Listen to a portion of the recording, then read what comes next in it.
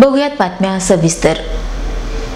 चंद्रपूर जिल्ह्यातील वरोरा नगर परिषदेच्या पाणी पुरवठा विभागाच्या कार्यालयावर कैलाश थोरात या मृतकाच्या नातेवाईकांनी नगरसेवक छोटू शेख यांच्या नेतृत्वात आज हल्ला चढवला.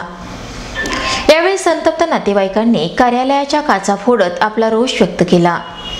कैलाश थोरात यांचा मंगळवारी मृत्यू झाला असून पालिकेच्या पाणी पुरवठा विभागानं खोदलेला खड्डा त्यांच्या मृत्यूला कारणीभूत झाला. वरोरा शहरात नगर परिषदेच्या पाणी पुरवठा विभागाच्या वतीनं नळाच्या पाईपलाईनचं काम जोरात सुरू आहे. यासाठी शहरात ठिकठिकाणी खड्डे खोदण्यात येत असून यातीलच एका खड्ड्यात पडल्यामुळं गंभीर जखमी झालेल्या कैलाश थोरात यांचा उपचारादरम्यान मृत्यू झाला. पंचावन्न वर्षीय थोरात हे वेल्डिंगचं काम करत होते. त्यांच्या पश्चात पत्नी दोन मुलं आणि एक मुलगी असून नेहमीप्रमाणे ते घटनेच्या दिवशी आपल्या कामावर जात होते. याचवेळी ते गेल्या तीन ते चार महिन्यांपासून उघड्या असलेल्या आठ फुटाच्या खड्ड्यात पडले आणि गंभीर दुखापत झालेल्या थोरात यांना पुढील उपचारार्थ सेवाग्राम येथील रुग्णालयात भरती करण्यात आलं. पण मंगळवार त्यांचा उपचारादरम्यान मृत्यू झाला.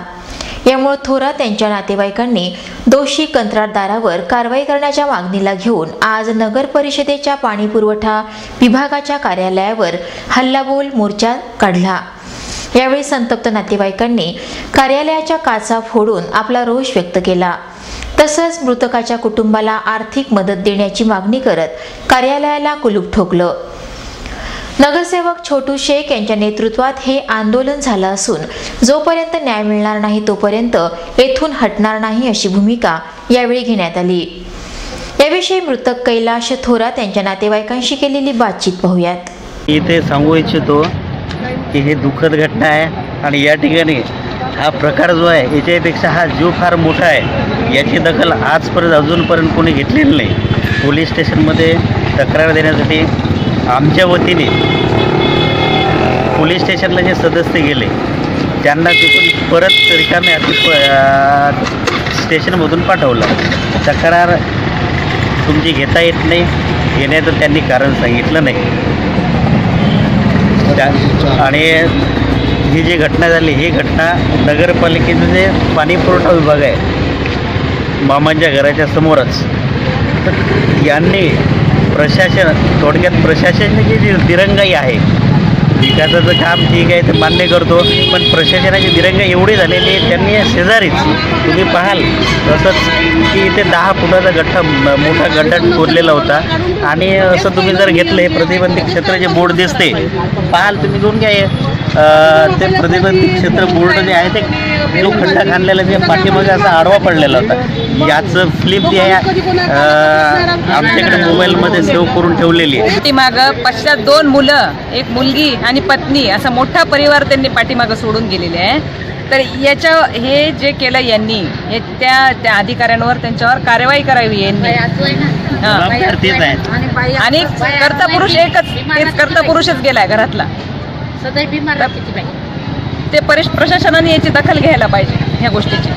थोरात यांच्या मृत्यूला जबाबदार असणाऱ्या पालिकेनं अद्यापही मदत दिली नसल्याचा आरोप नातेवाईकांनी केला. दरम्यान थोरात यांच्या नातेवाईकांच्या संतप्त भूमिकेचा धसका घेत पालिका प्रशासनानं चौकशी नेमून चौकशी समिती नेमून या प्रकरणाच्या चौकशीचे आदेश दिले. या प्रकरणी जो कुणी दोषी असेल त्याच्यावर कायदेशीर कारवाई करण्यात येईल असं आश्वासन पालिकेनं आंदोलन करताना दिलं. मृतकाच्या कुटुंबालाही आर्थिक मदत करण्याचा निर्णय पालिकेने यावेळी जाहीर केला. याविषयी नगराध्यक्ष ऐथेशाम अली यांनी लाईव्ह चंद्रपूरला दिलेली प्रतिक्रिया पाहूयात. दत्त मंदिर प्रभागात थोरात हिचा एक अपघाती मृत्यू झाला. आणि त्या मृत्यूमध्ये मी अशी प्रभूचरणी कामना करतो की त्यांना ईश्वर त्यांच्या आत्मेला शांती लाभो. आणि एक आठ दिवस पूर्वी ते त्या ठिकाणी पडले होते. एक नगरपालिकेचं काम सुरू होतं त्या ठिकाणी. आणि त्या ठिकाणी पडल्यानंतर त्यांना मार लागला.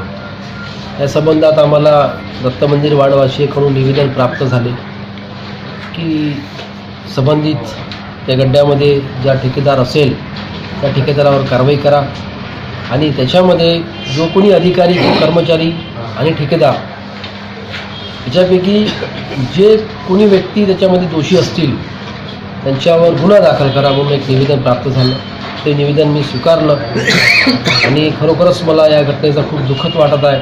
आणि तात्काळ आज एक समिती गठीत केली.